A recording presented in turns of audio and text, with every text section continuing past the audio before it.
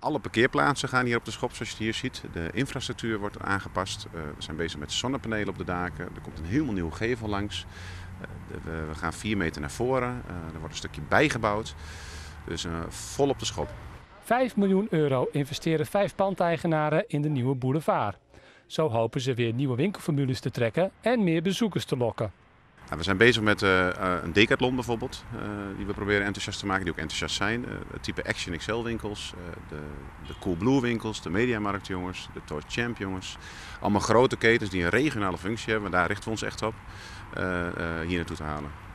Mooie plannen, maar gaat deze nieuwe formule niet ten koste van de binnenstad, die het ook al zo moeilijk heeft? Uh, in dit geval denk ik wel dat wij een iets andere sport uh, bestieren dan ze in de binnenstad doet. Uh, wij gaan wel juist voor die samenwerking, die willen we ook hebben.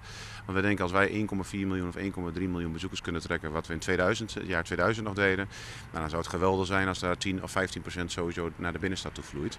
Maar goed, wij verkopen andere producten dan in de binnenstad. En daar hoort ook een nieuwe naam bij. Juist doordat we straks nieuwe winkels hier hebben op het plein met een, stukje meer diversiteit, uh, vonden we het ook ho hoog noodzakelijk dat we de naam ook gingen veranderen. Dus vol trots uh, kunnen we straks zeggen dat het Lifestyle Boulevard Almelo heet.